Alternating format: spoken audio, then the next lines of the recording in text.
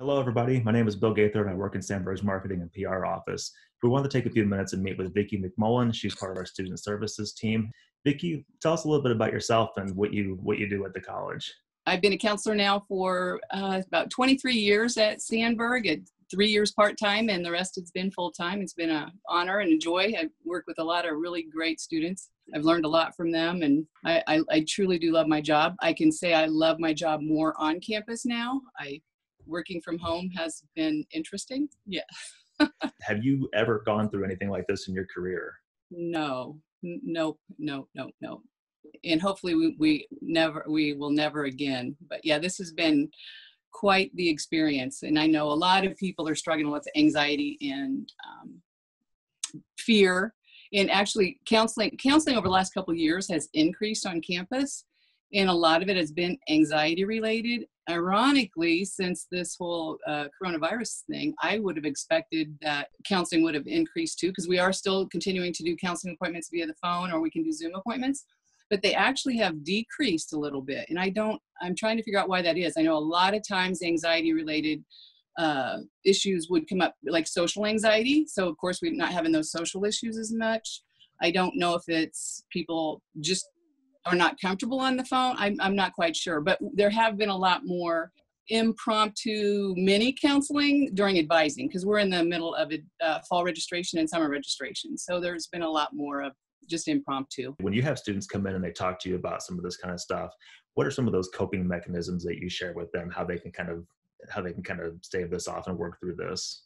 A big thing one probably one of the main thing is to, is to have students think about what they're thinking about and we can look at belief systems and like what they're believing about life about about this virus about themselves about their future etc because i was just listening to this uh, oh it's kind of an indian sage guru and he was having he was talking about how we have the gift of memory and we have the gift of imagination. And when we use those for positive and we have wonderful memories but we can also have those traumatic memories or those guilt memories and it, when people live there it creates anxiety and depression and and then imagination. If you know we can imagine and create all kinds of awesome things but we can also create worst case scenarios. And especially with this coronavirus there's some people that are living there too. And so it's important to think about what you're thinking about.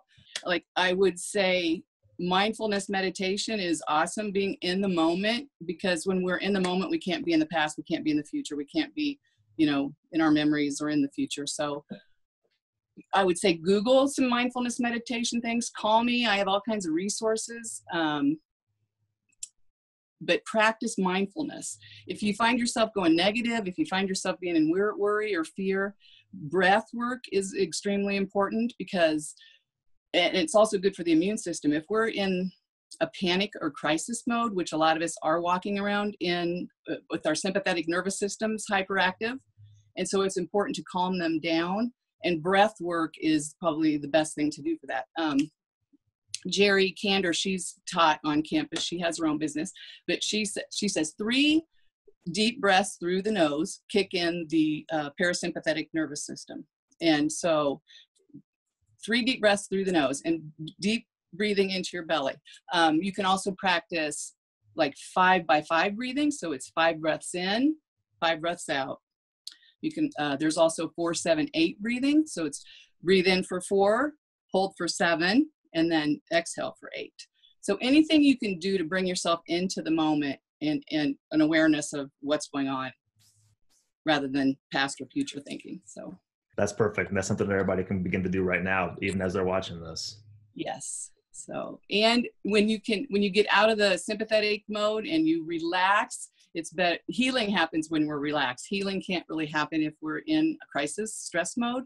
And so, for our immune system alone, we you want to practice relaxation. If we do have some students who are in a position where they they see this and they want to get a hold of you or get a hold of Dan, who's also in our advising office, how do they contact you? Call our the main office. It's 309 341 5237 and you can get an appointment scheduled. You can also call me directly. My phone number is 341 5423. That's my office. You can also schedule a counseling appointment through Starfish now. So uh, if you just need to talk, you need some encouragement, please call. So we can hook you up with resources. We can help help you. So that's what we're here for. Wonderful. Vicki's one of the resources that we have here again at Carl Sandburg College. We're going to be doing this every Wednesday as part of a Wellness Wednesday theme. And so, Vicki, we appreciate you taking some time with us today. We'll be coming back with Dan Yacinko and with BJ Fox in the next couple Wednesdays here. So thank you guys. All right. Thank you. Stay healthy, everybody.